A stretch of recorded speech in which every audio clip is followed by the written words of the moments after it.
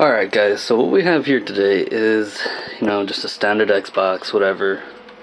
Turn it on, we got three rings. Now, this has been going on for just a little bit, but we figured out a way to get past this, or at least my dad did.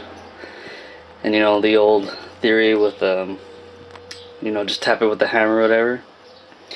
So, the way we're gonna fix this, and I forgot to do the intro, this is a, at 16 here. But yeah, so the way we're gonna fix this is you come to, I'm not sure if it works on either side, but usually it's the side closest to the, uh, the memory card ports. Come aside, come all the way down here to the vents are at, and you just give it a good smack. Believe it or not, this kind of works. So, so we'll do it again. Doesn't want to work.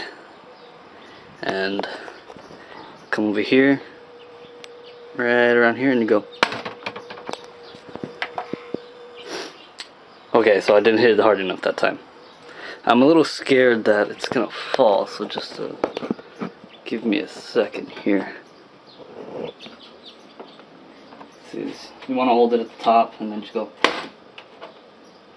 So let's see if that one worked there. Boom. Works just fine now. Now, it's not to work perfectly every time. You know, you're to have to turn on TV here. You have to do that every once in a while. No big deal though, just give it a nice smack and as soon as the TV turns on, it'll show the picture, whatever. Oh, it's on channel. Hold on, give me a second.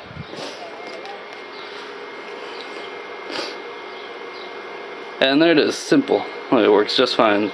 MLB's in, my brother's playing it last night. Whatever, all we know is that it works just fine now and it might um, cut out on you during gameplay. But you know you just turn it back on it'll work just fine. No big deal there. But yeah that's how you basically fix it three rings or at least that's how we fix it here. I'm not sure if this is gonna work for all uh, original Xbox 360s but it works